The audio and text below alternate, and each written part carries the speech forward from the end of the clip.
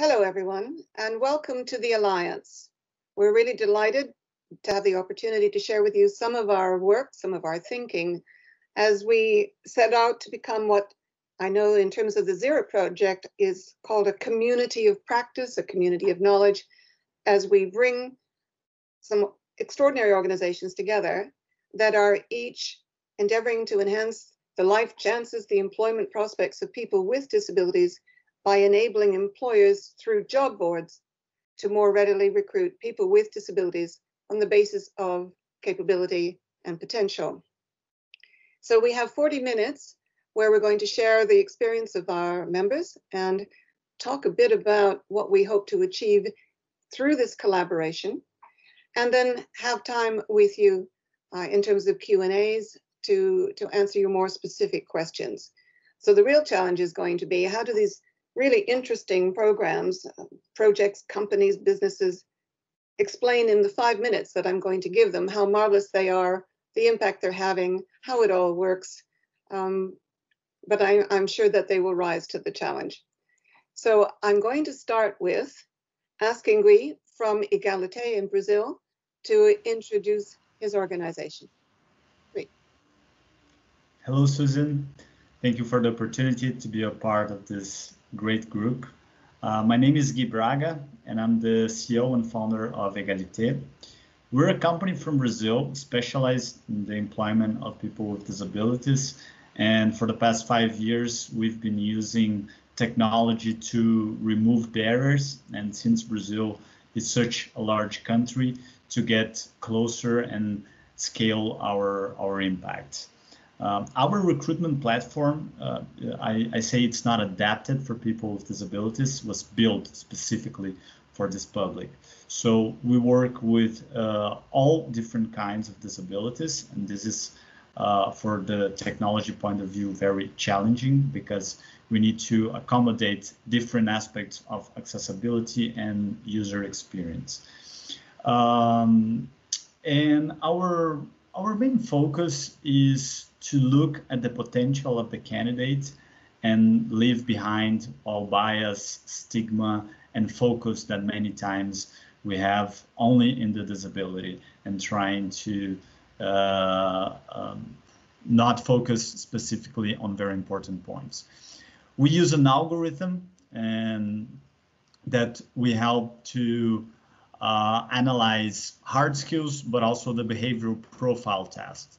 We developed from scratch with the partnership of a university in Brazil, a behavioral profile test that help us to understand not only the resume, but the person who is behind and what is the best job opportunity, uh, not based only on the experience that they have, but what they believe, uh, what kind of workplace it's good for them. Using this technology, we help to employ over 7,000 people with disabilities in Brazil, and today we have a database of 65,000 candidates. We served over 300 companies, um, and our main focus is to keep growing the work in Brazil, and we're also a part of the Impact Transfer Program of the Zero Project that uh, has been helping us to take our work outside of Brazil and to a few countries in 2021. Um, for us, it's a great honor to be a part of this group. And what we hope to achieve is basically um, creating a more inclusive workplace. It's very challenging what we have to do because it's not only about recruiting. We have to think about the corporate culture, we have to think about uh, how are we actually measuring and evaluating people with disabilities in a way that uh, can be equal. So uh, it's very hard to to find such a qualified group that we can openly discuss and try to find out the best practices because as we've seen from previous meetings that we have uh, we have basically the same problems around the world. It doesn't matter if you are in Europe, in Africa, in Latin America. You have very similar issues that uh, we are facing. And with this group, I believe that we can um, create great impact with with uh, in a collaborative way. Thank you very much. A brilliant exemplary performance of only four minutes. Excellent. Gabriel Marcolongo, introduce your organization, please. Thank you, Susan. I'm Gabriel Marcolongo. I'm the CEO and founder of Incluyeme.com. Uh, we founded Incluyeme in 2013, aimed at helping people with disabilities to get a job. Uh, we started doing that in, in Argentina, and even in Argentina and in all the region, the unemployment rate of people with disabilities is uh, about 70%. It, it means that three out of four people with disabilities are unemployed. And as Gui mentioned this is a global problem. So we are trying to bridge this disability gap, uh, helping companies to meet employers or potential employers with disabilities. Um, we start doing that in 20 managed to scale from Argentina to Chile, Peru, Uruguay, Paraguay, Colombia, and Mexico. And we become the largest database of people with disabilities looking for a job Nowadays, we're having 200,000 people with disabilities registered, and we are having the experience of working with 500 big organizations all across Latin America. And learning from this, we shift our view from labor inclusion to social labor inclusion, because we learn that uh, it's to, for a person with disability to get a job, it's only the first step then this person needs to be a full member of the society. And the way we are doing that is working on financial inclusion of people with disabilities. And then we are also working on the accessibility of cities. And then we are helping different uh, minorities to become fully members of the society. And as, and as an example of this, we are working with migrants with disabilities, helping those migrants and to become part of the society and also to, to get a job. In this journey, I would say that we learn that several things can be done in order to fully uh, enable possibilities of people with disabilities. One of those is to change the culture of companies. So this is the reason why we are creating not only a, job board, but also a, a way to transfer knowledge to companies and organizations in order to help these companies to be more inclusive, not only thinking about potential employees, but also to create uh, and develop services for customers with disabilities. Uh, we like to say that uh, is it better to develop products and services for all the people, not, not for the ones who are not facing a disability. And it's being an honor to, to be here and, and to be able to scale what all these organizations are doing. And we are really excited to, to look forward on what's going on on 2021 and how can we create a better world for people with disabilities together. Thank you. Can I just for clarification, when you said that you were also enabling immigrants to access mm. jobs. Mm-hmm. I'm assuming you don't mean just immigrants who have disabilities. You're saying yeah, with disabilities. It's still disabilities is the focus. Okay, I think that's just important to register. Thank you. Right, next, um, I think it's myAbility. Wolfgang. Thank you, Susan. It's also a pleasure to be part of this great group, and I've already seen and heard many similarities and, and uh, common ideas, which feels really good. Um, so uh, let me talk two or three minutes about myAbility. We are also originally a job board, which was our oldest idea of how to improve the lives of people with disabilities. But at the moment and over years, we have developed into a social enterprise that um, basically wants to change the culture of companies, the same as uh, Incluyeme and Gabriel said before, because we think it's not only about posting jobs and trying to connect online users looking for jobs and companies, but it's much more around it. So what we um, have developed and what our focus is first is um, we want to uh, convince companies that it's worth a strategy um, to be more inclusive and then to offer solutions like we analyze the situations of the company and then we offer solutions and these kind of these solutions are, are different um, uh, one one example is awareness trainings uh, even online we call them sensing journeys Other uh, solutions are we have um, recruiting programs, so we connect students with disabilities with companies in a matching program in um, Austria, Germany, Switzerland. Um, and of course, we also have many uh, individual consulting programs um, that also cover accessibility, not, not only of cities, but also of organizations um, or we, we consult in um, digital accessibility, uh, inclusive websites, and all these kind of things. So we're very uh, broad, but our main focus is, and that's the main idea, we want to motivate the business organizations uh, to be more inclusive because we think that's the biggest leverage. It's in their hand when all companies say we want to be more engaged in that field, when we want to be more open, when we want to offer uh, fair chances to everyone, then, the most thing will, will change. Our mission is uh, maybe also the question of why we're doing it. Our mission is that we at the end want to contribute to a fair um, society that offers um, um, uh, chances for everyone and that no one is left behind just because of a disability or whatever other uh, circumstance. Our team of uh, 30 at the moment um, is um, half of them have a disability. So we're also a very inclusive team, which is also kind of part of our DNA. Uh, we wanna wanna learn ourselves and transmit this to our network. And uh, we also consider ourselves being a social enterprise, which means that we want to in, uh, develop and offer services that are paid by the market, basically. Always, with a strong social mission that we want to want to uh, lower the number of uh, uh, unemployment rate of people with disabilities and to create this this uh, more inclusive society. Um, when we talk about the, the job board as such, this is the, the issue of today's conversation discussion.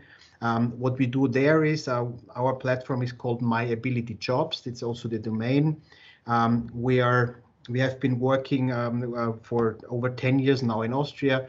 Just recently, some month ago, we also launched our job board in Germany, and the idea is uh, maybe to develop this um, in, in, within the European Union in the future. What we are now uh, focused on, on is uh, first we offer companies to post their jobs there and they need to pay for that even if it's not more expensive than maybe the market leader tariffs but we it's worth the price which is a very important principle in our um, in our opinion. And at the same time um, uh, it's also an important issue to offer um, uh, employer branding options so that the companies find their surrounding and um, a place where they can talk about their opinion about their culture towards uh, inclusion and people with disabilities and with this, we have been growing uh, steadily.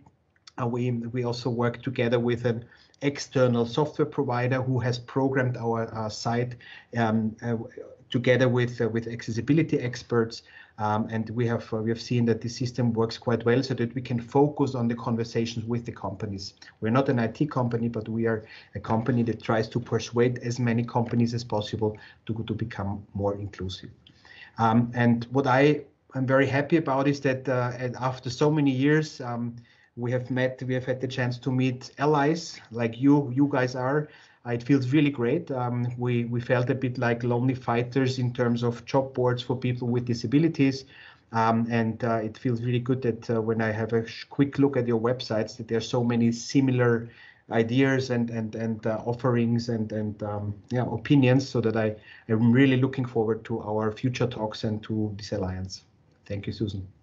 So this is going to have a therapeutic benefit for the members. well, exactly. Thank you.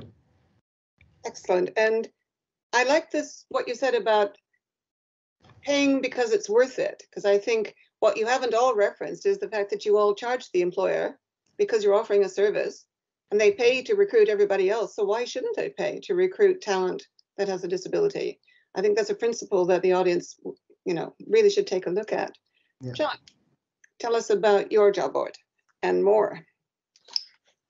Hi, Susan, and hi, everybody. It's uh, great to be a part of this incredible group, and thank you for bringing us all together, and thanks to the Zero Project as well for hosting this.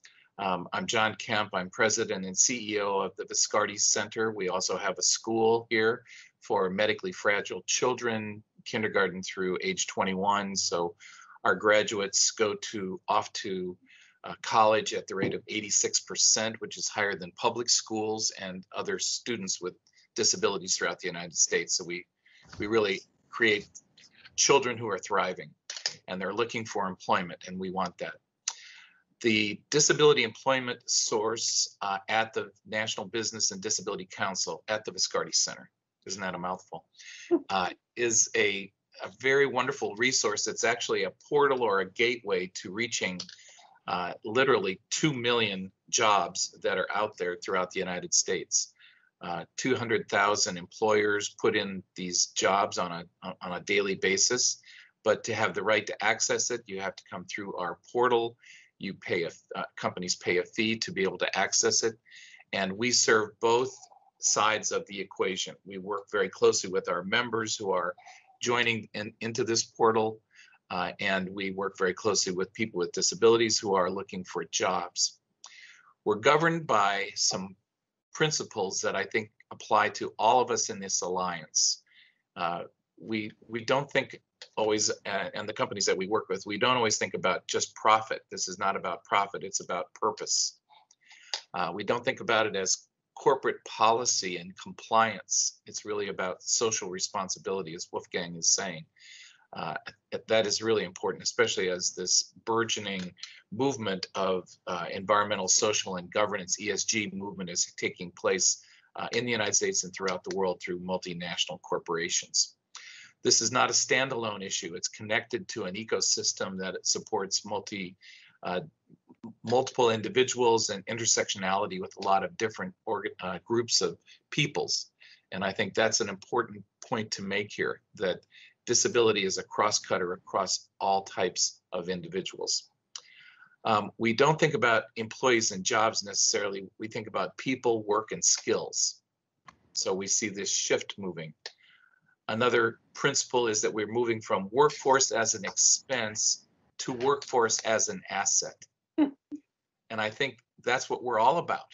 Um, uh, if I'm reading all of us right, we're really making sure that the employers who join our network and get into this uh, disability employment source really see us individuals that with disabilities as a complete asset to enhancing the company's performances on all levels. Another principle is a lot of times metrics are measured in the backwards way. They're looking backwards at what we've done. Uh, we look at forward-looking value metrics, and that is, I think, going to be something that's going to roll out. And lastly, a lot of, of companies measure their performance over quarters and year to year, quarters to quarters uh, we look at this as generational. This is a generational movement, and this is the beginning of a generation uh, where companies and people with disabilities are going to think and operate very differently.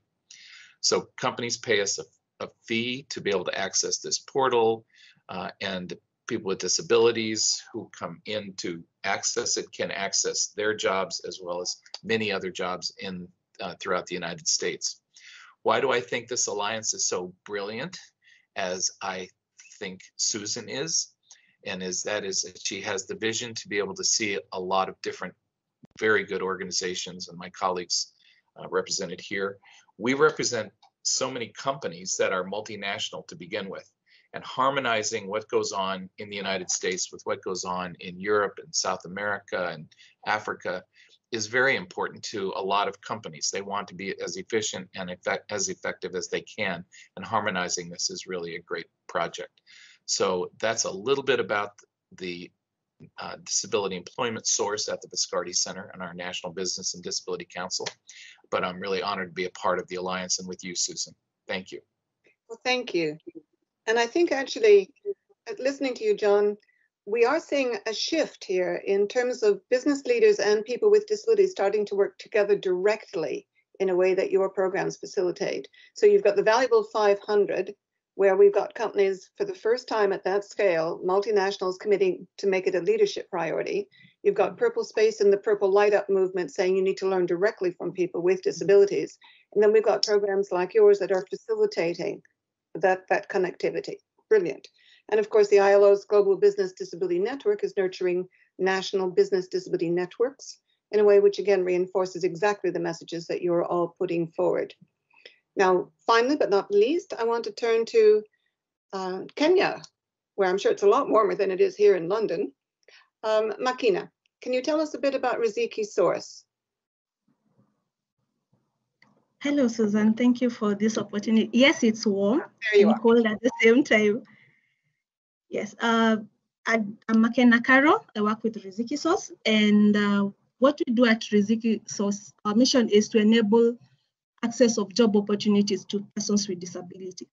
And how we go about it is uh, we work, uh, we use the use of technology where we work with directly with our users who are persons with disability, and uh, the candidates are able to register on board on, on our job boards uh, so as to be able to access job opportunities, the current job opportunities that are posted. So they can register through the mobile. So one doesn't have to have internet enabled mobile phone.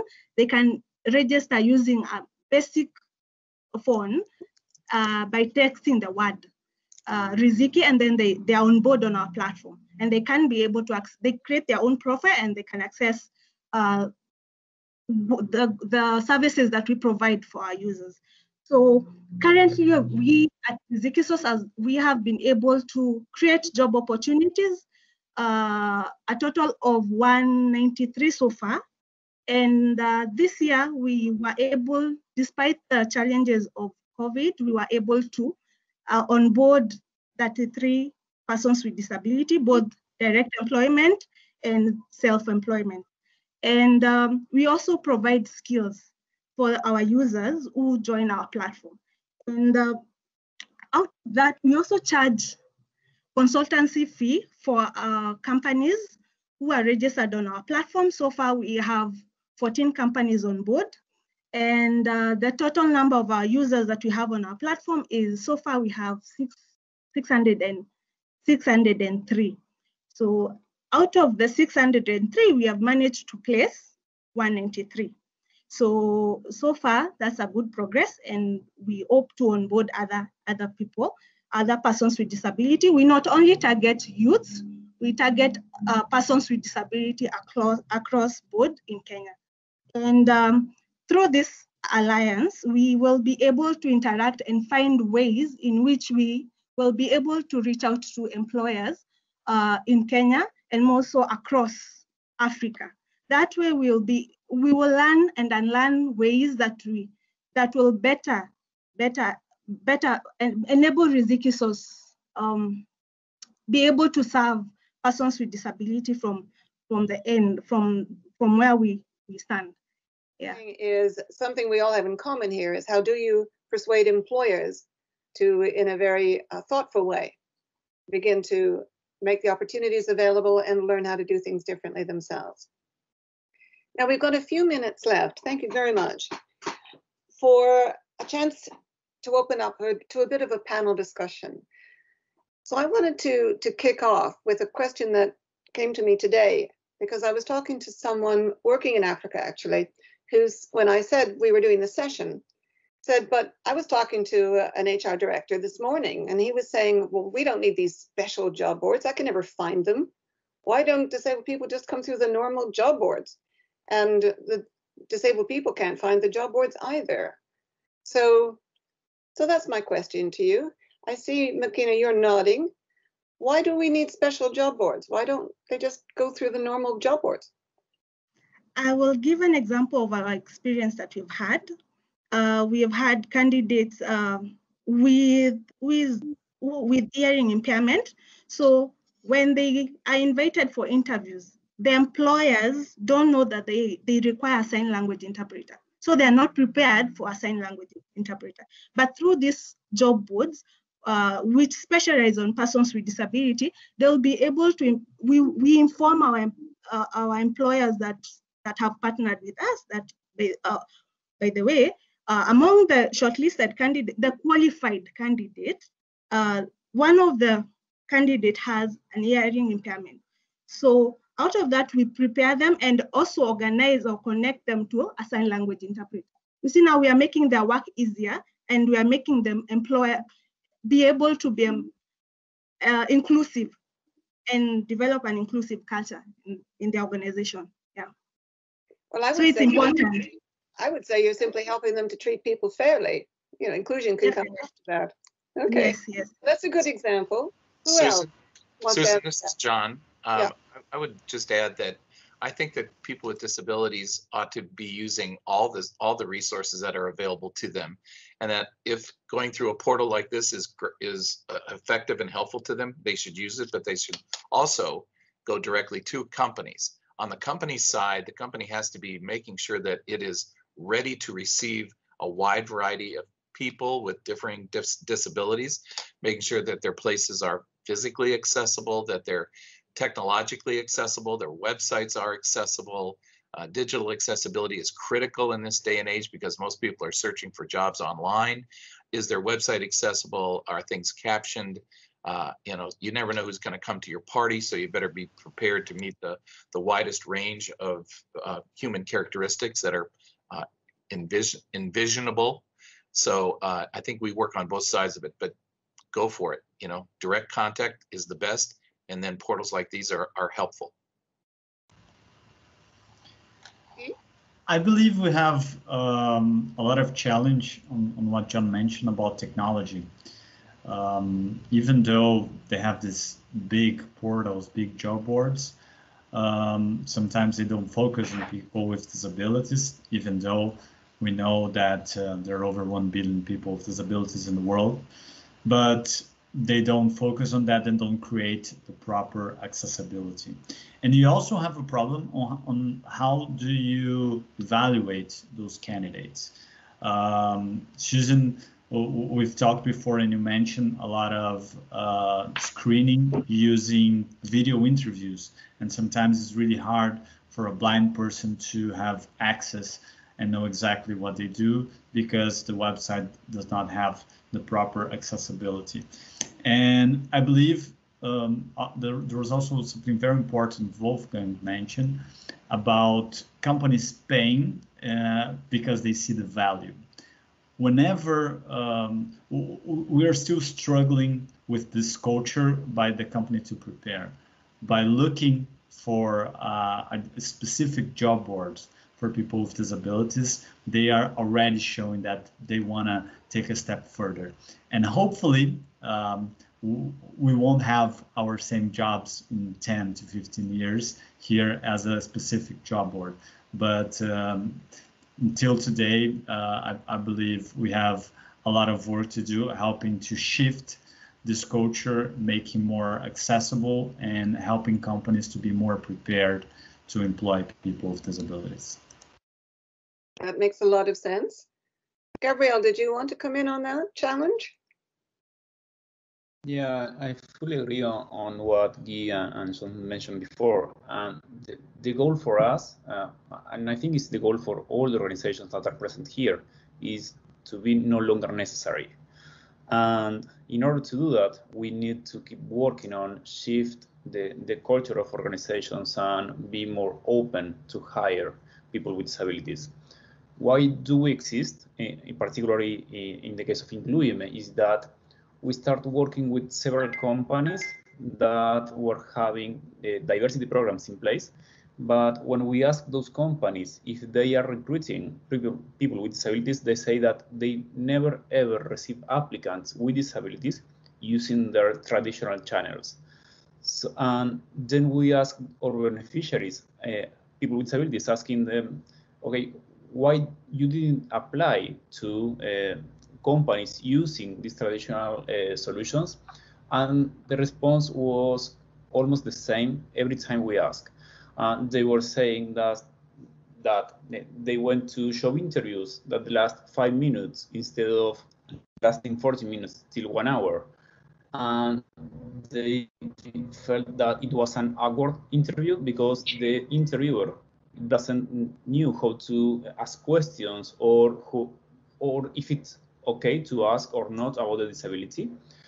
So the reason why we created Incluyeme is that we need to build trust on both sides. And this trust building is saying uh, as a company that you are really open and, and you are welcoming applicants with disabilities. And for uh, the beneficiaries, I mean for the people with disabilities, that they are not going to be discriminated through the process and that the interviewers are going to be aware on how to interview applicants with disabilities. And building on this, we can guarantee that the people uh, are, that are applying are going to be considered on their skills, not only if they are having or not a disability. I think, Wolfgang, did you want to add anything there? I almost cannot find better words. You know, it's like I, I, had two things in mind. First, one was that Gui said um, it's about accessibility. That many mainstream job boards do not care enough about accessibility. So there is uh, a part of the group uh, excluded. So we need to take care of this. And the second thought was exactly what Gabriel said. Um, we create a surrounding where you can be more open, which is very important because um, um, according to our statistics, 80% of disabilities are not visible. And a big part of them um, do not want to communicate that there is a disability in place, but maybe there should, you know? So the best situation in our point of view is that both sides can be very open because with that you can cover best in the, the needs in the best way and you can manage your employees in the best way when you know what everyone needs and um, one consequence of, of uh, running these uh, job boards for people with disabilities is that it creates openness in a, at an earlier stage. And uh, companies can on the one hand rely that if there is, are applicants that there is a disability in most cases there. And on the other hand the applicants can be more open. And uh, as long as they are, uh, are on, on other job boards uh, as long as it's not like that it's very important to to have this in place and certainly from our experience, many people with disabilities need to be persuaded that there's a chance of getting a job if they go to one of your job boards. Exactly. So that's where the need to get this communication between the employer and people with disabilities so they can see that actually there's a there is a point to it. Yeah. Now I see that Fredrick has joined us from uh, Riziki. For the last session that we have here, I was going to just quickly ask members of the Alliance, as we grandly call ourselves, capital A. Um, what is your what do you think in terms of what this this network can achieve? What should our priorities be for the next six to 12 months? What's kind of the most important, what has to be done for us? Who do we want to tell what to? What do we want to change? So who do I start with? Fredrick, have you got a sense of who you, what the top priorities should be for this group? And you've got 30 seconds. Yeah, I can give it a try. Uh, so um, um, top priority for me is how do we bring on the table as a priority the fact that persons with disability who are job seeking should also be considered and, and all uh, job platforms or whoever is recruiting should have uh, as their priority to consider persons with disability in terms of recruitment. So how do we reach out to uh, big companies, anyone who is um, an employer so that they understand, but also be able to be uh, supported in terms of um, how do you do this in a manner that is respectful to the job seeker who has a disability? Well, the, the communications, the big messages, I mean, obviously this group will have to look at that very carefully. Thank you very much. Gui. I guess our main goal should be to be able to talk about recruitment. Because this group got together uh, specifically to talk about job boards and we mainly been discussing more things about uh, the culture the challenges that we have to convince companies uh, to be more inclusive. Um, so um, I, I, think we, we have a very uh, important goal here is how do we create a better uh, environment to, to employ people with disabilities in these big corporations. And the second one would be uh, how do you use technology to remove barriers and fairly evaluate the, the candidates? So I guess uh, we started this group with the uh, expectations of talking a lot about recruiting and we've been talking a lot about culture and it's very important that we solve first this problem and after we can go and help to scale the recruiting and the employment of people with disabilities so we, we started even calling it a job board group but that's actually a tool isn't it yeah the point is, what do we need to do, particularly with technology, to, in my language, change a labor market, change the way the labor market. So, absolutely, Gabriel. Susan- Yeah, John. No, no, I'd go right ahead, Gabriel. John. Thank you, John. No, Go Gabriel. ahead. No, no. Gabriel. Gabriel. I will take it. So I think that our first goal here is to uh, we are here to solve a, a global problem, as we mentioned before. So the best way we can do that is to share knowledge and to share what is working in- in Europe can maybe be beneficiary in, in Latin America or in Africa or in the States and, and vice versa. So the, I think that the goal here is to create a, a common platform of uh, open knowledge and also uh, giving companies and organizations who are having global presence a, a simple way to spread these best practices. And uh, while doing that, it is not only to good to have a good practice in the UK, for example, but if you are not able to do this uh, or, or to deliver this best practice in other regions, that the impact is small.